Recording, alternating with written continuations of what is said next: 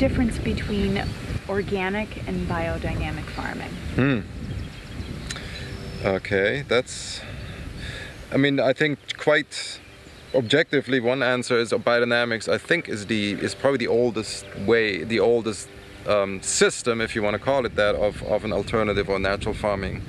You know, if you want to have a snappy answer, like somebody wrote in the Times the other day, it's a it's a turbocharged system of organic farming. if you want to have a snappy answer, so there's a lot of overlap, but then the biodynamics kind of encourages you as a as a farmer to push the envelope. I think there's X amount of human beings on the earth, and there's a reason that they're here right now.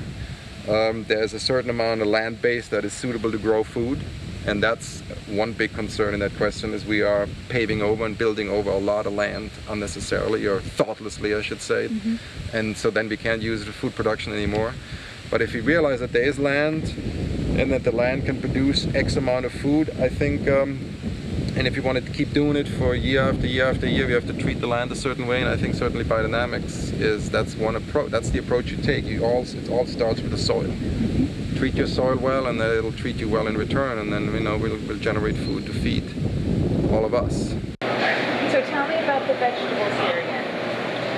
Okay, uh, as you can see we label the uh, all of the produce for its place of origin. And we are in the summertime now so thankfully uh, that place of origin for the majority of what's in the case is now local. And this is something very dear to me uh, if it has a red tag like this, it actually means this is grown right here on Hawthorne Valley Farm.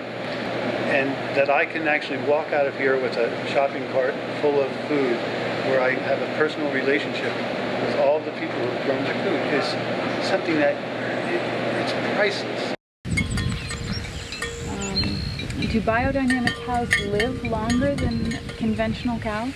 Yeah, I think any any cow that's treated organically or biodynamically would have a stand a better ch ch chance to get older because we just don't push them one-sidedly. You know, and conventional cows only thing people are interested in is pure milk production. And sometimes you could say it's just fluid or water that they generate. It's not probably not even healthy milk. And but by doing that you really stress the animal very you know unsuitably. And then I think the average in the, in the American dairy industry is that the cows barely manage two lactations. That means two cycles with a calf. So the average age is right around four years four to five years of age. It's very young and I think like I said before this one cow right here is 15 years old we have a number of cows that are 10 years old, and so I think our average must be probably more like seven, eight years. The fertility cycle is what drives the farm, and when you would, when you see these biodynamic cows, uh, I could ask the question, well, why do you think we have these cows? And then most people might answer, well, you want to milk them and get the milk and make yogurt and cheese. And I say, well, that is true, but the reason, the real true reason we have these cows is because they transform grass into manure which then becomes the basis of our whole fertility program. And without that, this land would be not suitable to grow food for many years in a row. How do you feed the world? So first step, I think, is people need to think about food differently.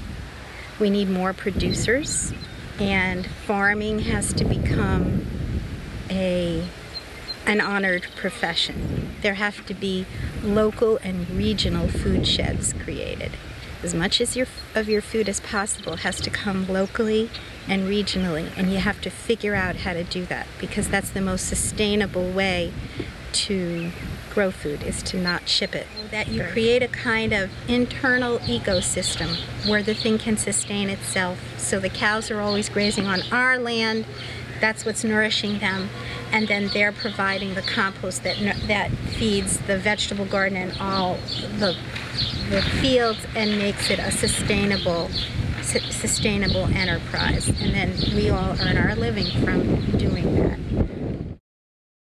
We currently have an overabundance of CO2 in our atmosphere, creating the effect of global warming. To reverse this process, there are many things we can do. We can reduce our CO2 releasing industries. We can increase plant population and we can capture more carbon in the soil through organic agriculture. Organic farming captures three times as much carbon in the soil as conventional farming.